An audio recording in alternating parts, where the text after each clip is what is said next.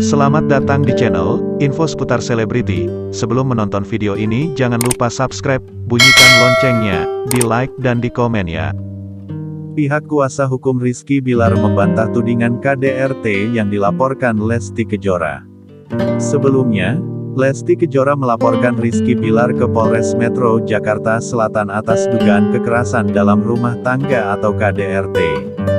Peristiwa KDRT itu kabarnya dipicu karena Lesti Kejora memergoki Rizky Bilar selingkuh.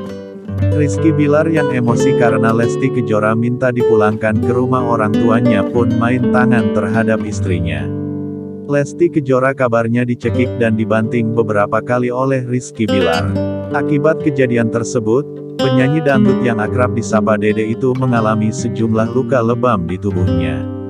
Lesti Kejora bahkan telah melakukan visum untuk mendukung laporannya ke kepolisian. Namun kuasa hukum Rizky Bilar, Surya Dharma Simbolon justru membantah tudingan KDRT tersebut.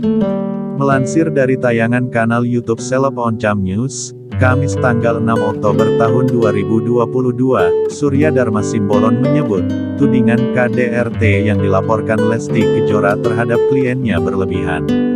Oh KDRT, itu enggak, itu berlebihan, kata Surya yang dikutip Grid, ide dari kanal YouTube Seleb Oncam News, Kamis tanggal 6 Oktober tahun 2022.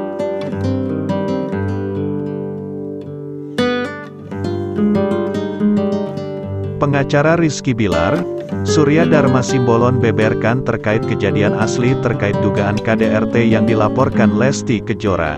Menurut pengacara Rizky Bilar, Lesti Kejora pada saat kejadian memang terjatuh. Tak hanya itu, Surya Dharma mengaku jika dalam laporan polisi, Lesti Kejora bukan dibanting. Itu dia jatuh, dan laporan Lesti juga bukan dibanting ke banting, ucap Surya Dharma Simbolon.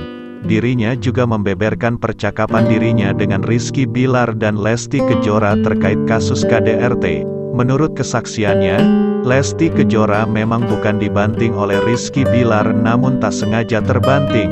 Saya tanya sama Rizky Bilar, apa benar itu kebanting-banting? Oh tidak bang, saya juga sudah tanyakan ke Dede. Lesti bilang ya bukan dibanting tapi kebanting. Ucapnya. Surya juga mengatakan jika kalung Rizky Bilar sempat putus lantaran ditarik oleh Lesti Kejora. Pada saat itu Rizky Bilar menepis Lesti dan dari situlah badan wanita yang akrab disapa Dede tak sengaja terbanting. Lesti tuh narik Bilar, kalungnya putus itu Bilar menepis, kebantinglah ke lantai.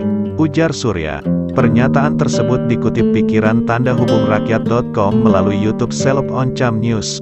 Kendati begitu, Rizky Bilar saat ini tidak hadir ketika panggilan pertama dari pihak kepolisian. Sang pengacara mengaku jika Rizky Bilar saat ini sedang sibuk dan mentalnya cukup terganggu. Sebelumnya, kabar KDRT Rizky Bilar dan Lesti Kejora yang dilakukan Rizky Bilar terhadap Lesti Kejora terbongkar ketika Lesti Kejora memaksakan diri keluar rumah dari rumah mereka berdua kemudian terlihat oleh beberapa tetangga mereka, sehingga rumah tangga mereka menjadi buah bibir dan viral di berbagai media sosial saat ini. Penyebab utama KDRT yang dilakukan Rizky Bilar kepada Lesti Kejora karena Rizky Bilar ketahuan selingkuh dengan wanita lain. Seketika itu juga Lesti Kejora marah dan terjadilah KDRT terhadap Lesti Kejora.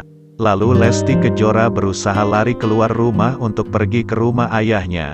Dengan kejadian ini, semoga teman-teman yang sudah menonton channel kita ini, mendapatkan pelajaran sehingga dapat mengontrol diri agar tidak melakukan kekerasan. Dan mari kita doakan agar Tuhan memberikan yang terbaik terhadap rumah tangga Rizky Bilar dan Lesti Kejora. Bagaimana pendapat teman-teman semua? Silahkan tulis di kolom komentar di bawah ini.